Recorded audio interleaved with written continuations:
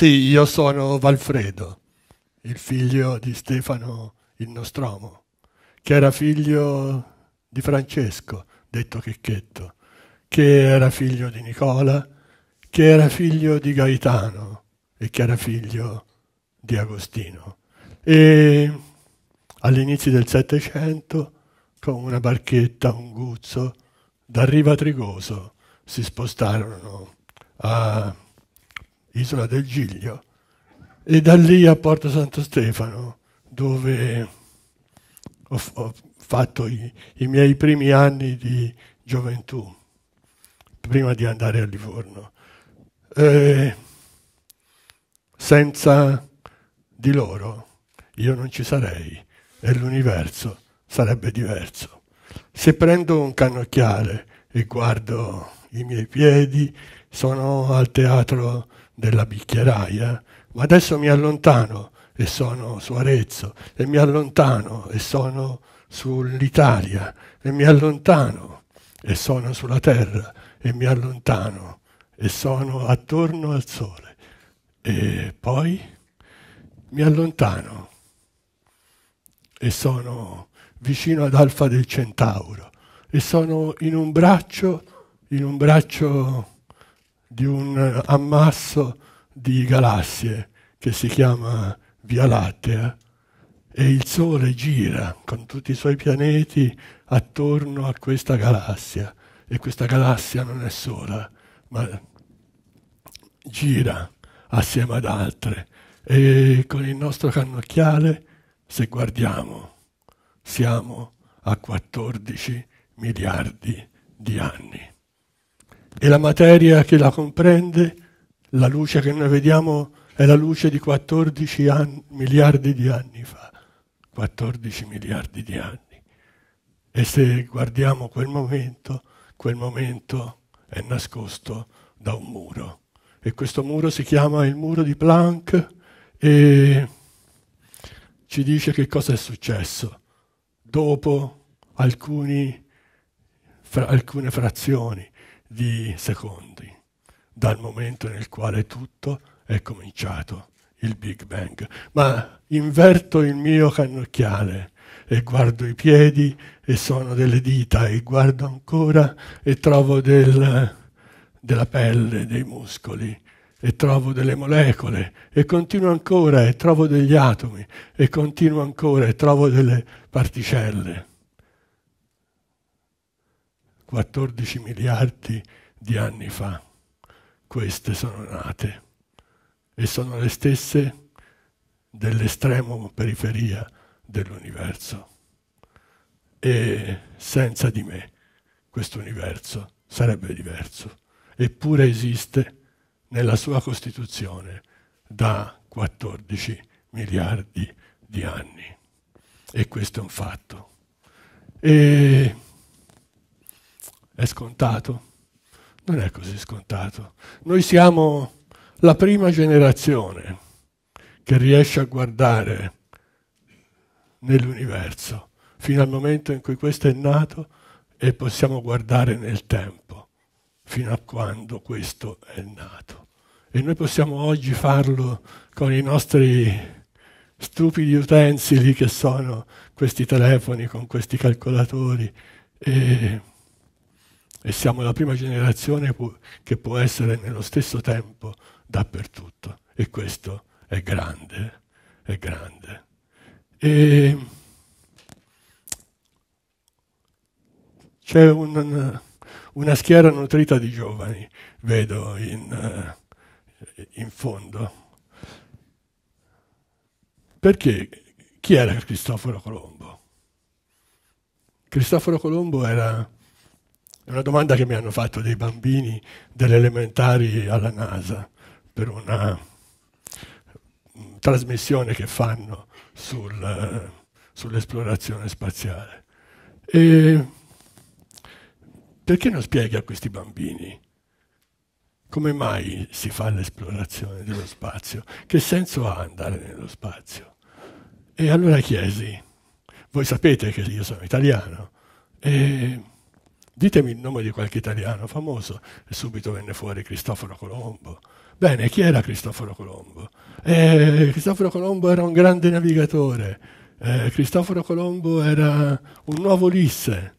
Eh, Cristoforo Colombo gli disse ha scoperto l'America perché ai suoi tempi non c'era il frigorifero. Wow! Che c'entra? Cosa vuoi dire? Voglio dire che Cristoforo Colombo cercava le spezie perché le spezie erano fondamentali per mantenere il cibo, ma la tecnologia del freddo non c'era e quindi Cristoforo Colombo andò sbagliando in America ma cercava le spezie perché ai suoi tempi non c'era la tecnologia del freddo, non c'era il frigorifero. Banale. Banale, ma è così. È così sempre. Ho sentito oggi uomini di scienza, bellissimo, bellissime presentazioni, e ho sentito dei tecnologi, bellissime presentazioni.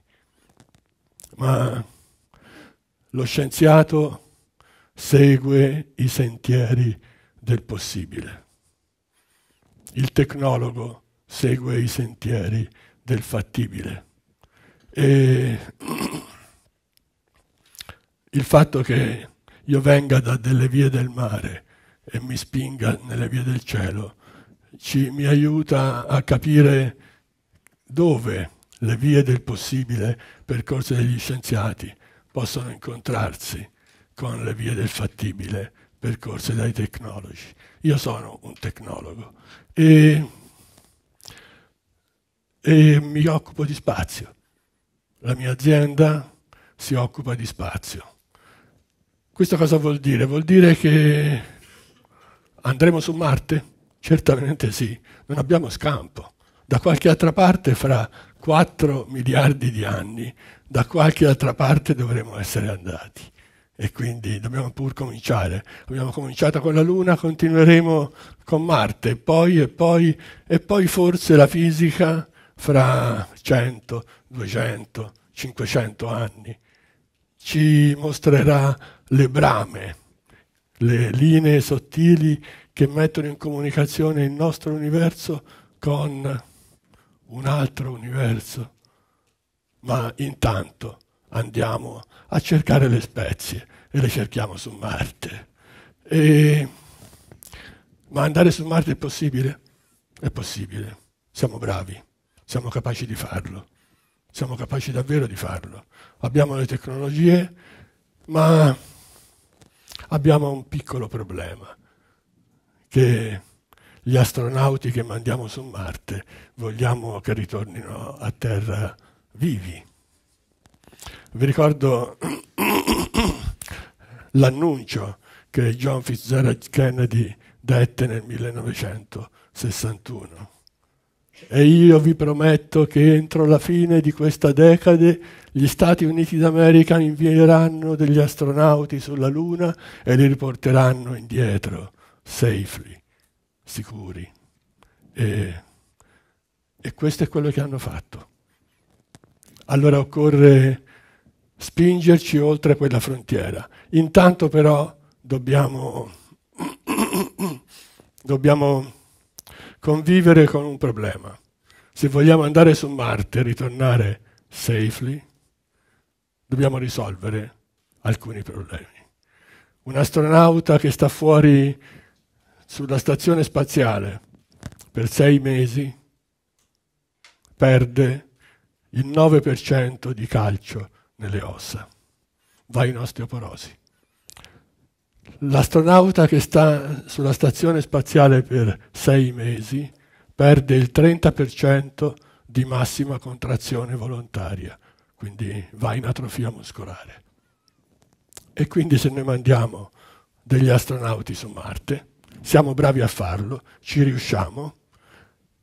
Il problema è che per andare e tornare ci vogliono circa 500 giorni. E in questi 500 giorni l'assenza di gravità crea sicuramente questi problemi piuttosto grossi agli astronauti. E allora Che senso ha oggi spendere centinaia di milioni di euro per alimentare una base di calcio come è la stazione spaziale, circa un campo di calcio, con dei razzi minuscoli che vanno su e giù ogni tre mesi, il 19 parte, ne parte un altro. E che senso ha questo? Il senso è che gli astronauti in totale sono circa 100, più o meno, attivi in questo momento. Eh, se noi risolviamo il problema di questi 100 astronauti e astronaute, se risolviamo il loro problema di osteoporosi e di atrofia muscolare che si sviluppa stando in assenza di gravità, se risolviamo il problema loro, abbiamo risolto il problema del 50% della popolazione femminile sul nostro pianeta. E non è poco. Vale la pena, vale sicuramente la pena.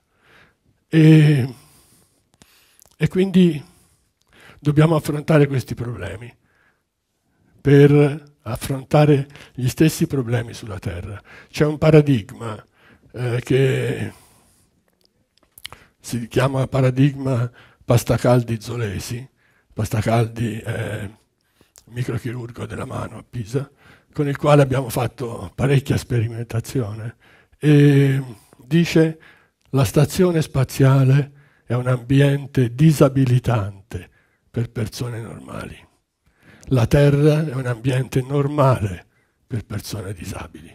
Allora se io alcuni protocolli che utilizzo sulla stazione spaziale e su persone che diventano invalide man mano che passa il tempo, se prendo questi protocolli e li ripeto a terra, Sicuramente questo mi aiuta a risolvere dei problemi e può aiutarci a far sì che andare su Marte e ritornare sia davvero possibile. Eh, la permanenza all'esterno della nostra casa, all'esterno della Terra, e già in orbita lunare, eh, è affetta da eh, due aspetti abbastanza importanti. Uno è questo del cambiamento dei nostri processi metabolici. Sostanzialmente, se gli osteoclasti, che sono gli spazzini del nostro calcio, lavorano di più di quanto facciano gli osteoblasti, che sono quelli che prendono il calcio e lo fissano dentro le trabecole, eh, se questo accade e io nello spazio sto cercando di capire perché ho risolto il problema con dis- dispositivi fisici, eh, farmacologici, eh, dietolo, di, eh, di, di diete e così via, riesco probabilmente a rendermi conto perché. E questo è un aspetto. Quindi all'astronauta faccio fare tanta bicicletta tutti i giorni, un'ora al giorno, eh, gli osteoblasti devono essere convinti che devono continuare a fare il loro mestiere e non dire, eh, ma non c'è gravità, che sto, che, che, perché mi sto a dannare a, a, a, ricostruire? Non serve, il peso non lo sento. Eh? quindi potremmo ingannare nostri, eh, queste nostre piccoli, piccole cellule che, che fanno questo mestiere più difficile e più complesso è ingannare, è ingannare il nostro organismo dal fatto che nello spazio, non essendoci le fasce di Van Allen che proteggono la Terra, le radiazioni arrivano e sono anche pesanti. Eh, e quindi mi metto una camicia di piombo o faccio una schermatura alla stazione spaziale, ma eh, poi ho bisogno di più energia, mi, mi complico la vita. E quindi oggi sta, la, la ricerca si sta concentrando sul fatto eh, che possiamo trovare, soprattutto per produrre cibo, eh, possiamo trovare delle mutazioni che sono poco sensibili alle radiazioni E questo è un percorso estremamente interessante e estremamente importante, anche perché ha dei riflessi qui sulla Terra. Quindi se noi affrontiamo questi due problemi, sicuramente eh, risolviamo il problema degli astronauti, ma risolviamo diversi problemi eh, sulla Terra. Vi do una brevissima carrellata. L'azienda nasce a Livorno nel 1986, io ero un consulente freelance, oltre che insegnare eh, consulente freelance negli Stati Uniti, ero lo specialista europeo di capsule russe, sapevo come funzionano, quali sono i loro comandi e quando l'Agenzia Spaziale Europea ha fatto prima, il primo esperimento con i russi, eh, mi hanno chiamato per dare una mano. Era il 1988, dopo tre anni, dopo quattro anni, il primo lancio. E da allora credo di aver partecipato a 55 missioni spaziali con 85 esperimenti di, di, di tipo diverso, soprattutto nel campo della biologia e della fisiologia umana. Sono i due aspetti che sono appunto oggi considerati più importanti. E attualmente sapete che c'è un'astronauta italiana, eh, Samantha Cristoforetti.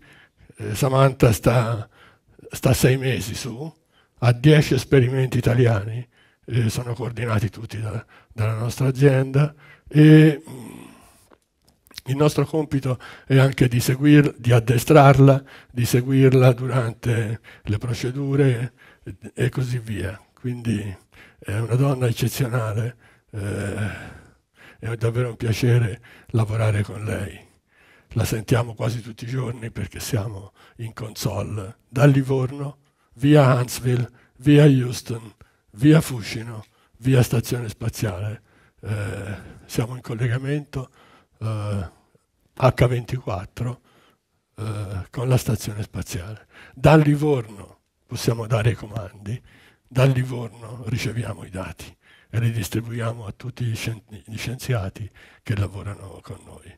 Questo è un vanto, eh, il vanto di 60 persone tra biologi, elettronici, softwareisti, eh, meccanici, strutturali, con nazionalità argentina, cinese, vietnamita, eh, rumena, eh, svedese. Formiamo un team, una squadra della quale sono orgoglioso.